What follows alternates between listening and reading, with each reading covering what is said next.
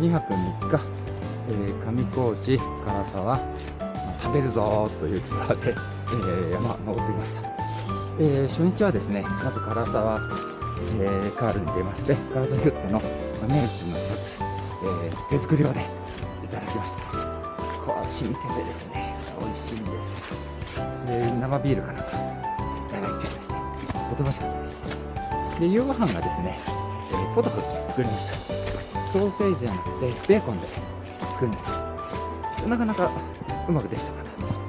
ちょっと量が多かったような気もするんですけども。まあまあ満足。あの今回フランスパン持ってきたんですけどもフランスパン潰れずに持っていくことができました。あこんにちは。すいません。失礼します、えー、よく人に会いますここは。で、えー、2日目ですね。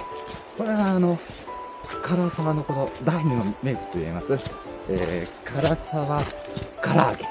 唐揚げと唐沢を、えー、引っ掛けたそうなんです。けども、えー、いただきました。あの生ビールちょっとビール最近お酒弱くなったんで缶ビールのちっちゃいやつにしたんですけども。まあうまかったですね。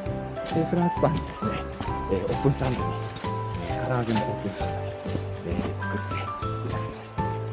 でこの日の夜はですねペペロンチーノ、えー、ちょっと本格的なペペロンチーノということで、えー、きちっと作ってみたんで非常にもちもちした、えー、乳化させてですね作ってみてとても美味しかったです。で本当は、えー、パノラマルートで、えー、特産が出る予定だったんですけども、まあ、天気悪いんで、無理せずにですねこのまま特産園が出てまた美味しいものをいただこうかなと思っております。